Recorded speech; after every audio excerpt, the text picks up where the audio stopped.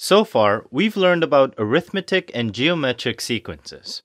Now, in this lesson, it is time to learn about arithmetic series and also compare the difference between this and arithmetic sequences and see how they're related. So, let's dive right into it.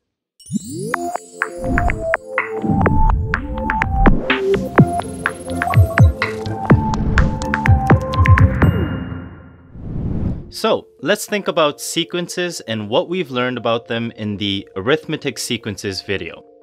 If you haven't watched our video on arithmetic sequences yet, we encourage you to go ahead and watch that lesson first before moving on to this one, since it'll help you to understand the context of what we're teaching in this lesson. Otherwise, let's go right into looking at an example of our first sequence. So here we've got 3, 5, 7, 9, and 11. Now, a sequence is just a collection or list of numbers.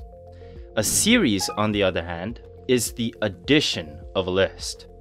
So, while this is an example of an arithmetic sequence, an arithmetic series would look like this, which is the addition of all the numbers. Now, instead of denoting this as t of n, which represents the number of the term we're looking for or that we're on, we would denote a series with this s of n, which we would use to represent the sum of all the numbers up to the nth term. Alright, so first of all, let's start by focusing on arithmetic sequences first, and bring up the formula for it again. So, the a here stands for the first term in the sequence and the D stands for the common difference.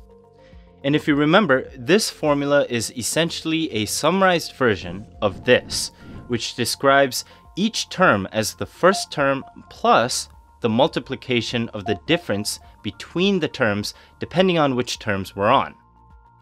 So, as you can see, each of these equations represents each one of these terms in the sequence. Good. And if an arithmetic series is represented as the addition of these terms, then we can technically write it out as the addition of these equations, like so, since they are representative of each term. As we can see, we have our a as the first term, which in this example would be 3. Then we have the addition of a and the difference, the difference being 2 in this case, giving us the 5 that we see here.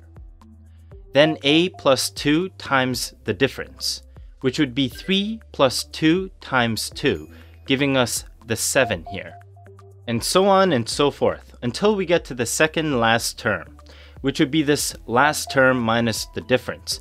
In this case, it's 11 minus 2, giving us the 9 that we have here. And finally, our last term being 11 in this example. Great! So, this general formula for arithmetic series looks right so far, but we can still simplify it further. Alright, so let's just begin with this thought experiment. What if we duplicated this equation and reversed the order of the formula to look like this?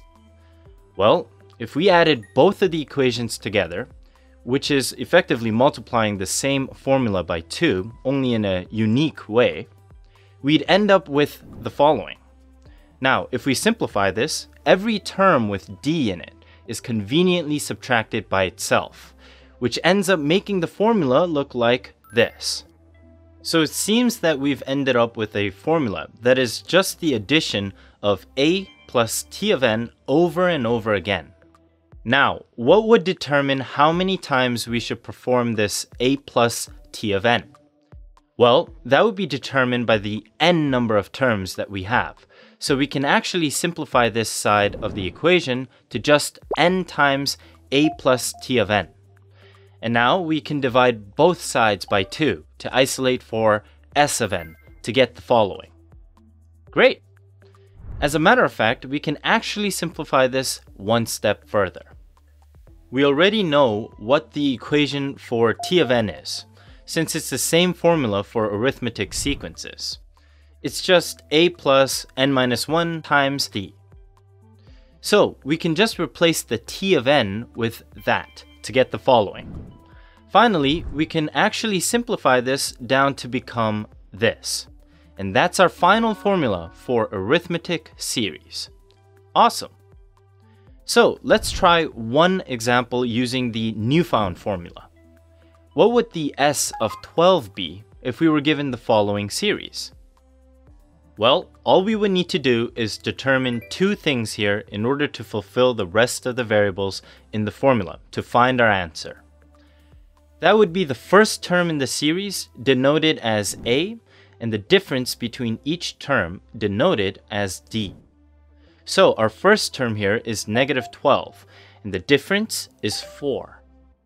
Now, all we need to do is plug in our respective values, including 12 as our n value, which is already given to us. So, simplifying this gives us 6 times negative 24 plus 44. This equals to 6 times 20, which gives us a final answer of 120. Therefore, the sum of all the terms in this series up to the 12th term would be 120. Awesome! And there we have it. Learning arithmetic series is as easy as that. So make sure to practice different examples until it feels natural to you. So that concludes this lesson and we hope to see you guys in the next lesson on geometric series.